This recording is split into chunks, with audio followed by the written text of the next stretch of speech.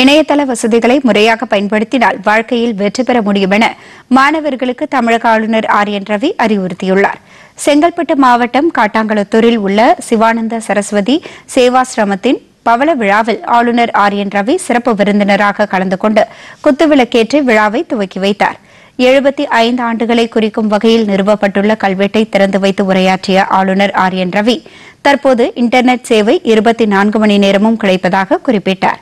இதனை முறையாக பயன்படுத்தினால் இதைவிட மாணவர்களுக்கு பயன்படும் வசதி வேறெதுவும் இருக்க முடியாது என்று அவர் தெரிவித்தார்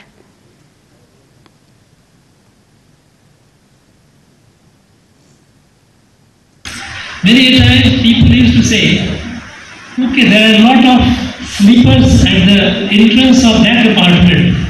Not, not many. And there is an ambulance one. So there is a death in the family itself.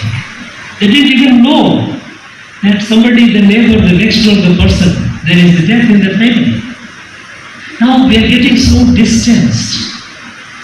This is not what we have been, what we have been through thousands of years, and this is not what this country, this Bharat is. நிகழ்ச்சியில் மாவட்ட ஆட்சியர் ராகுல்நாத் சிவானந்த குருகுல நிர்வாக இயக்குநர் லட்சுமி ராஜாராம் நிறுவனத்தின் தலைவர் கிஷோர்குமார் உள்ளிட்டோர் கலந்து கொண்டனா்